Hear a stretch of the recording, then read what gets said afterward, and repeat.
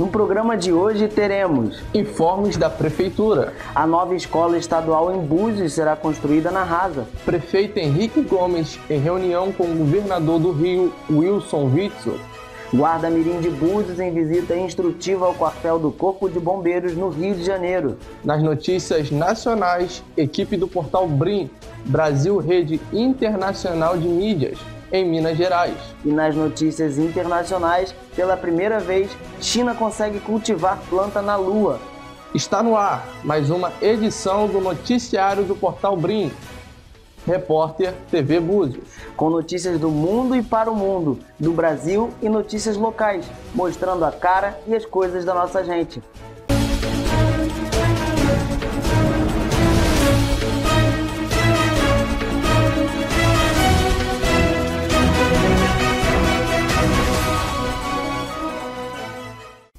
Olá!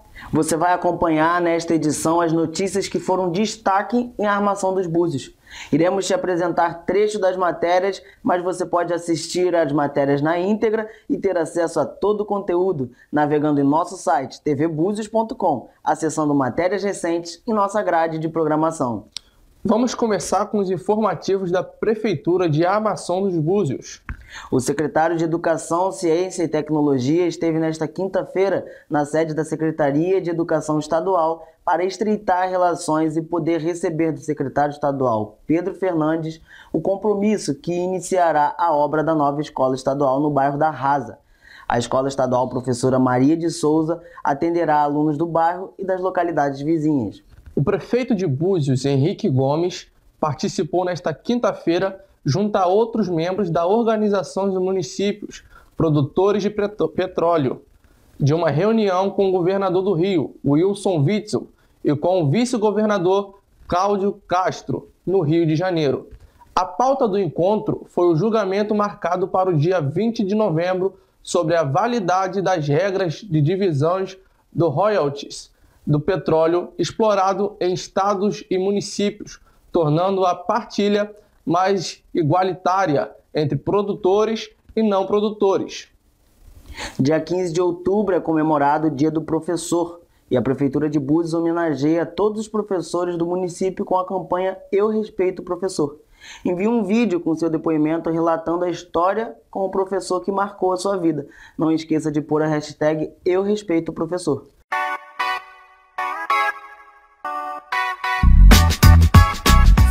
Não é fácil. Ele tem uma desvalorização no mercado, ele tem que lidar com críticas a todo momento. Ele precisa ter enorme paciência para cuidar de crianças, de adolescentes, de todas as fases que passam pela nossa vida, né, pela nossa jornada. Isso acaba sendo complicado demais. A escolha dessa profissão é complicada, mas também a gente deve valorizar por ser a base que constitui todas as outras profissões. Se não existisse o professor, não existiria médico, não existiria advogado, juiz, é, publicitário, qualquer outra profissão. Então, cada professor que passa na nossa vida inspira de alguma maneira. E sempre tem um que marca. E é assim que marca que a gente consegue escolher, que a gente consegue ter uma ideia de o que vai ser, de o que quer ser. O professor ele tem a capacidade de abrir novos horizontes, de abrir novos ciclos, de mostrar que a vida é muito mais do que só aquilo que a gente estava pensando. É como se fosse uma segunda família, uma segunda casa, porque é o horário que a gente mais passa juntos, sabe? De segunda a sexta, às vezes tem viagem e tudo mais, e ele tá ali para guiar a gente, para explicar, para ter é, enorme paciência, para cuidar da gente. É como se fosse um pai e uma mãe. E muitos deles acabam pegando esse papel de pai e mãe justamente pela família não ajudar, pela família não estar tá tão entrosada com o filho. Então eles merecem todo o respeito, toda a valorização, toda a ajuda possível para conquistar o merecimento, o pertencimento deles na nossa sociedade.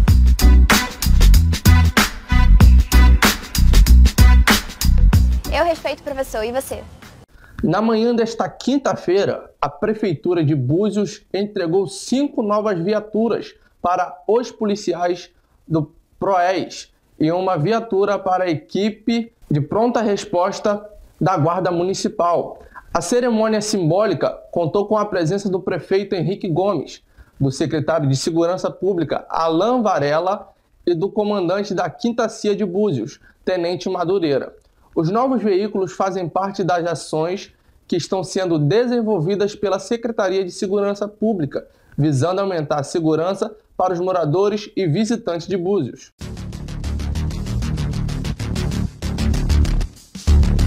Então, hoje nós tivemos aqui uma cerimônia de entrega de cinco viaturas para o pro projeto CEPROEX, onde vai estar tá triplicando o número de policiais nas ruas, fazendo policiamento.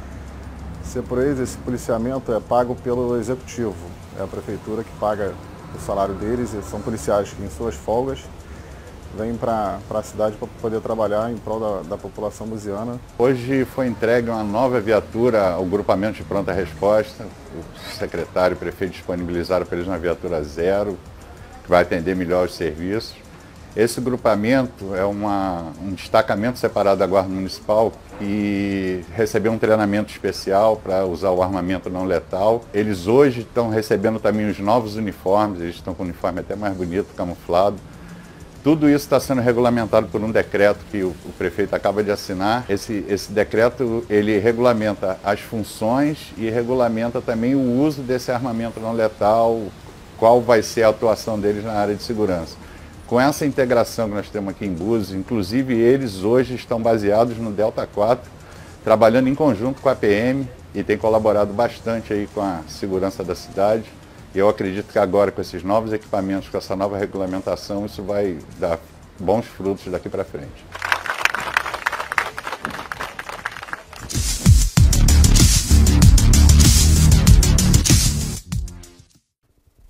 A Guarda Mirim de Búzios realizou nesta terça-feira uma visita instrutiva ao quartel do Corpo de Bombeiros, no Rio de Janeiro.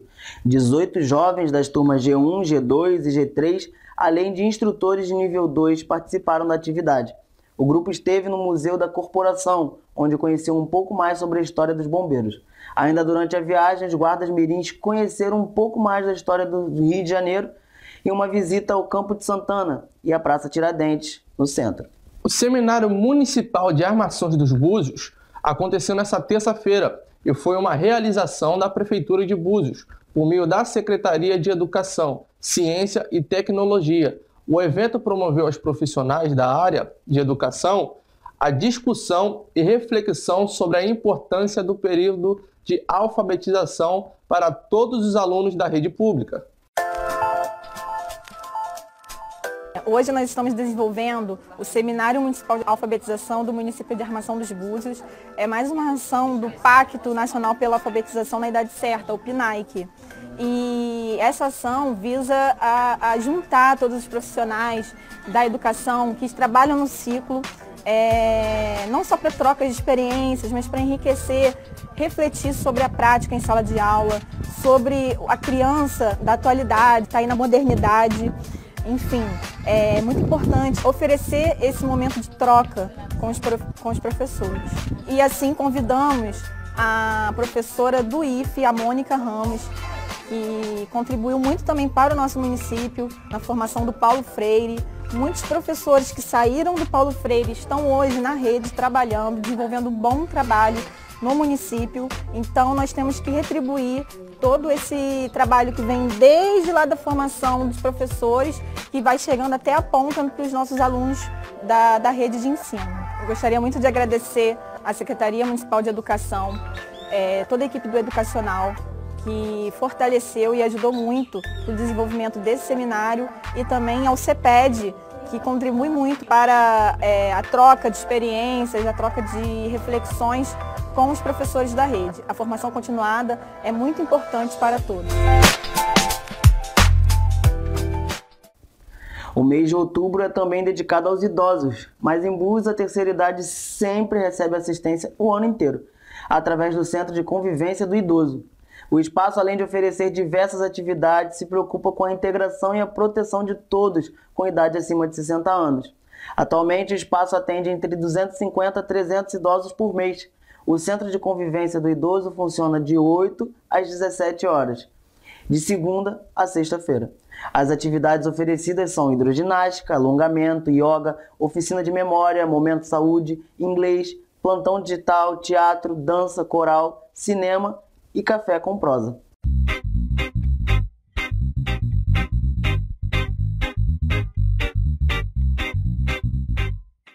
convivência do idoso, ele é um equipamento da assistência social que oferta vários serviços para os idosos na área da cultura, do lazer, do esporte. É um equipamento que oferece serviço de convivência e fortalecimento de vínculos, que é um serviço contínuo da política de assistência social. É, para o idoso vir aqui para iniciar suas atividades, ele pode procurar o equipamento, mas ele precisa passar pelo CRAS, que é o Centro de Referência de Assistência Social, para ele poder se inscrever, ser referenciado e acompanhado pelo CRAS e pelo CCI. Existem várias oficinas aqui de segunda a sexta, que acontecem dentro do horário de 8 a 5. Qualquer idoso pode frequentar aqui de segunda e quarta ou terça e quinta. Temos vagas em vários, em vários tipos de oficinas. Acho que é muito benefício para o corpo, para por convivência mesmo, sabe? Por, o espírito do idoso aqui, eu acho que contribui muito, a mim contribui bastante. Eu me sinto muito bem aqui. Eu faço bastante atividade, aqui tem yoga, tem alongamento funcional, é, tem a hidro, né? Bom, eu vim para aqui depois que eu me aposentei. Eu sou professora, morava no Rio de Janeiro. Para mim realmente foi uma, uma nova vida, né? Até porque eu conheci outras pessoas, essa coisa da gente interagir é muito interessante. Eu gosto muito daqui, gosto muito. Eu faço não só as atividades físicas, né? Hidroginástica, alongamento e yoga, que é muito bom também, mas como as outras atividades culturais. Eu sinto muita pena de algumas pessoas que só vêm aqui para fazer atividades físicas, porque na verdade o nome é Centro de Convivência do Idoso, até para dar oportunidade da gente conversar, se conhecer, interagir e até resolver nossos problemas, né? Porque, por exemplo, no Café com Prosa, a gente discute muito, é, não só os nossos problemas, como do mundo também. É, aqui nós temos a oferta de oficinas do teatro, coral, yoga, é, hidroginástica, alongamento, dança, café com prosa, que fala temática sobre os direitos, é, entre outras. Então, é um espaço que oferta acesso à cultura, a artesanato também, acesso à cultura, à, à arte, à parte do esporte, tratando como é, grupos onde a gente fortalece vínculos e garante direitos e garante também a proteção social que dentro da, da nossa política pede, né, como proteção social básica para não romper vínculos e, e garantir direitos. Nesta quinta-feira, a primeira turma de guardas civis municipais de armações dos Búzios foi promovida por tempo de carreira ao cargo de subinspetor. O evento foi celebrado no Yacht Clube de Búzios, organizado pelo Comando da Guarda Civil Municipal, Associação dos Guardas Municipais de Armações do, dos Búzios, com apoio da Prefeitura de Búzios. Acontece neste fim de semana o Pet Fashion Day em Búzios. O evento no Ecopark é voltado especialmente para aqueles que são considerados melhores amigos do homem, os cães. A programação inclui desfile de cães com premiação, espaço, espaço Play Dog, que é a recreação de animais, é, apresentação de animais adestrados, encontro de raças, dentre outras atrações. No espaço haverá ainda uma feira de adoções de animais. Vamos para um breve intervalo com apoio cultural e voltamos com as notícias da região dos lagos.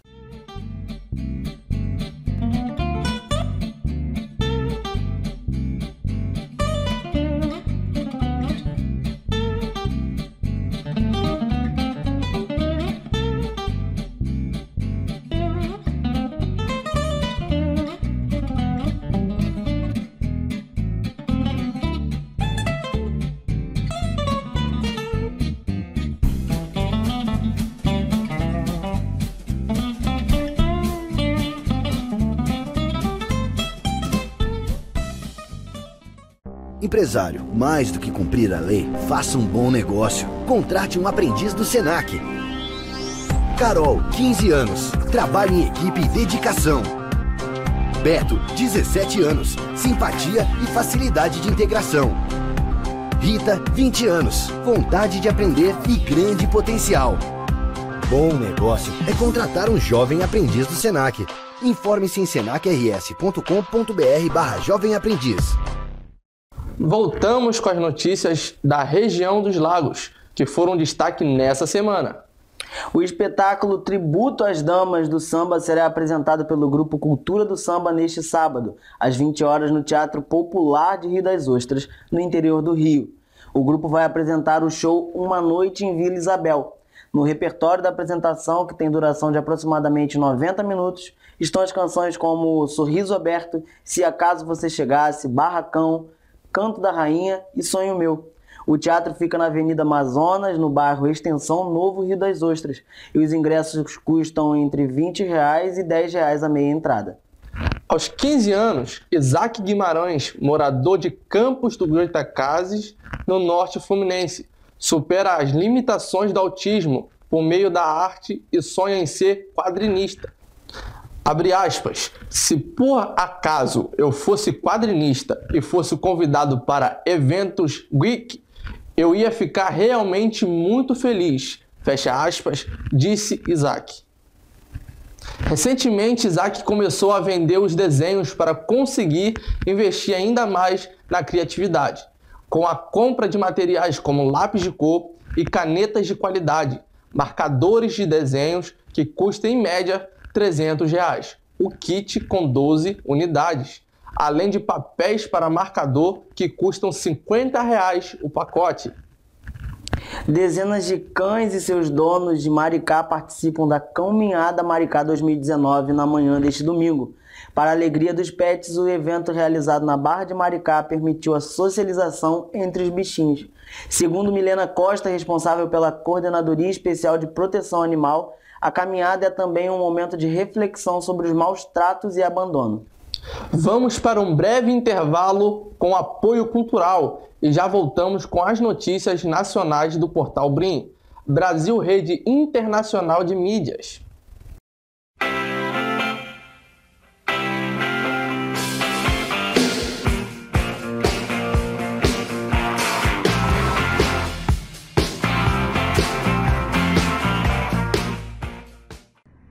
Gostaria de me apresentar a vocês. Meu nome é Dr. Geraldo Carvalhais.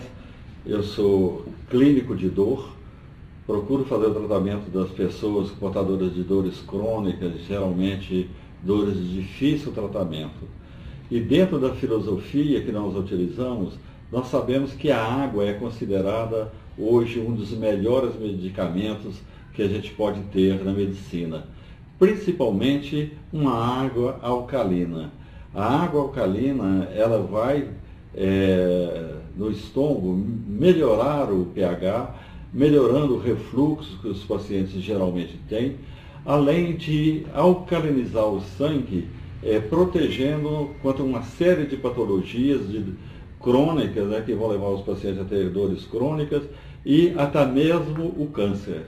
Então, no momento, eu aconselho que todos nós, se possível, façamos o uso da alca-água.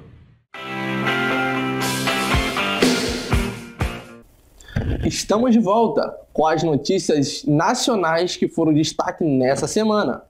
Neste momento, aqui no noticiário do portal Brim, Brasil, Rede Internacional de Mídias, vamos ao vivo fazer contato com a nossa equipe que está em Minas Gerais.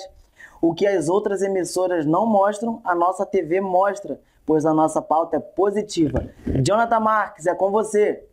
Nós do portal Brim Brasil Rede Internacional de Mídias estamos na grande Belo Horizonte, né? E hoje nós vamos falar com o senhor Maurício Vidal, ele que é o coordenador do movimento Orgulho Nacional. Queria que a gente explicasse um pouquinho sobre esse movimento. Obrigado pela oportunidade. Alô a todos. Olha, é, o movimento Orgulho Nacional em favor da autonomia, e fortalecimento da Polícia Federal, a PEC 412, que é uma PEC que é um anseio né, dos brasileiros, que são os verdadeiros donos da Polícia Federal, é, que tornaria a polícia de Estado e não de governos. Uma polícia que poderia avançar nas investigações e cumprir seu papel técnico, né? É, que é o grande desejo. O, o movimento é, surgiu há quatro anos quando essa campanha veio às ruas. Essa campanha é, no Congresso Nacional ela faz inclusive aniversário agora nesse mês, são 10 anos tramitando, né? A gente costuma dizer que é, é uma campanha que está dormitando, né? Porque é, o, o interesse que ela avance é praticamente do brasileiro, né? Você tem uma gama é, de políticos que não tem interesse nesse avanço de uma polícia com autonomia. E tem um, um movimento, esse, esse, movimento ele é proporcionado através de uma carta aberta, não foi isso? Exatamente. É, no dia 9 de março de 2016, essa campanha tomou as ruas através é, de um grupo de populares que pediram é, para que é, pudesse também apoiar essa campanha através de assinaturas, né? PEC 412 2009.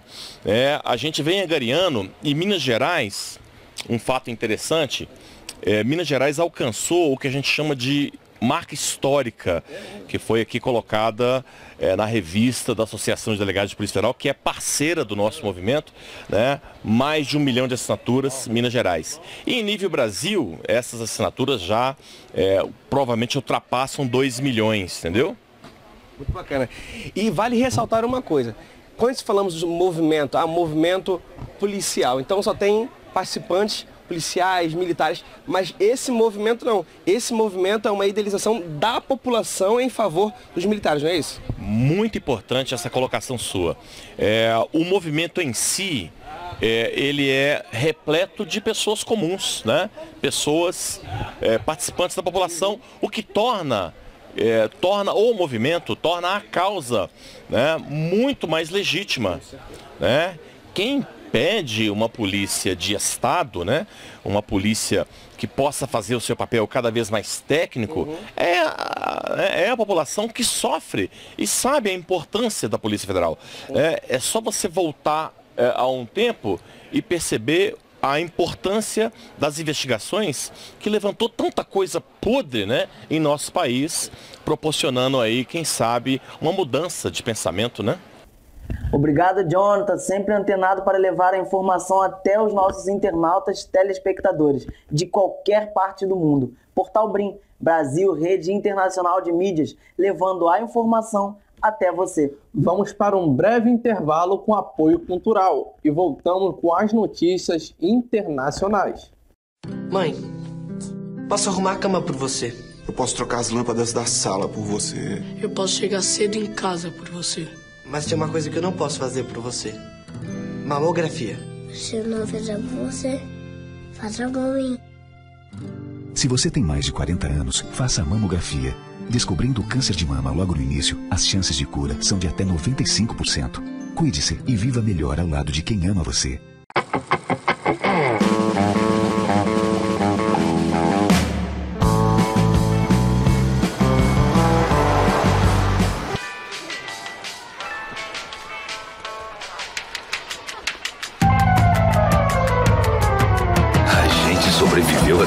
Isso. Agora que o mundo mudou, será que a gente aprendeu? Normas e equipamentos de segurança já existem, mas precisam de todos nós para funcionar. Faça a sua parte. Sistema FIENG, por uma indústria mais segura. Estamos de volta com as notícias internacionais que foram destaque nessa semana. O Nobel da Paz 2019 não está entre os favoritos e foi para o primeiro-ministro da Etiópia, Abiy Ahmed Ali. A maioria das apostas ia para Greta Thunberg e o cacique Raoni. Segundo a organização, Abiy Ahmed Ali foi premiado por ter conseguido um acordo de paz com a Eritreia em 2018, país que faz fronteira com a Etiópia. A atuação de Abiy à frente de conflitos e questões sociais também pesou na escolha da organização do prêmio, que fez o anúncio nesta manhã. Formado em engenharia, o premier chegou ao poder também no ano passado a China ganha mais uma etapa da corrida espacial, ao anunciar que conseguiu pela primeira vez cultivar uma planta em solo lunar, diretamente um broto de algodão, que sobreviveu duas semanas.